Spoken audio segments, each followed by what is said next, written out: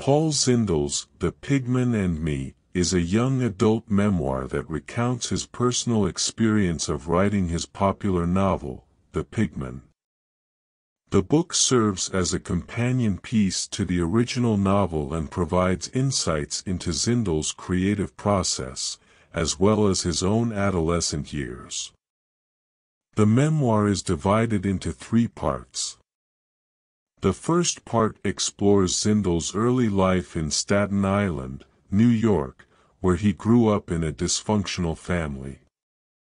Zindel's parents' marriage was troubled, and his father was an alcoholic who often subjected his family to emotional and physical abuse. Zindel himself struggled with social anxiety and felt like an outsider in his community. The second part of the memoir focuses on Zindel's adolescence and his involvement with the two central characters of The Pigman, John and Lorraine.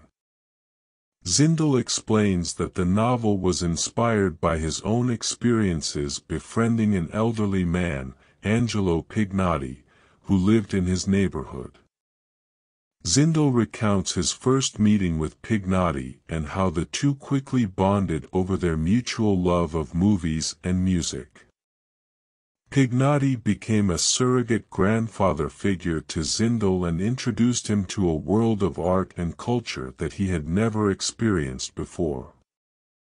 The final section of the memoir discusses the process of writing and publishing The Pigman.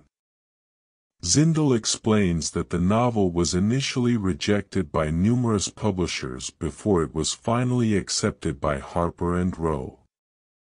Zindel recounts his excitement and nervousness about the book's publication and his surprise when it became a critical and commercial success. One of the central themes of The Pigman and Me is the power of friendship. Zindel's relationship with Pignati and his friendship with John and Lorraine in the novel highlight the importance of human connections in navigating the challenges of adolescence.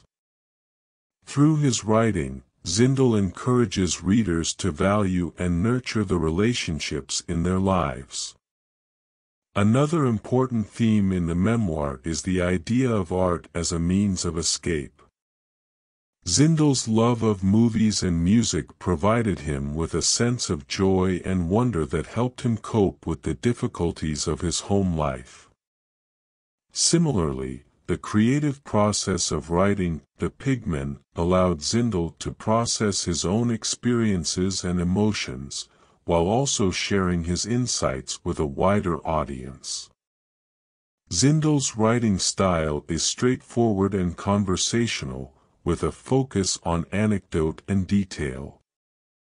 His memoir is filled with humorous and poignant moments that capture the complexities of adolescence and the struggles of growing up in a dysfunctional family.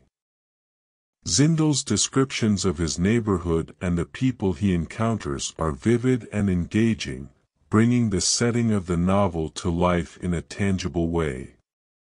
In conclusion, The Pigman and Me is a compelling memoir that provides a fascinating glimpse into the life of Paul Zindel and the creative process behind his most famous work.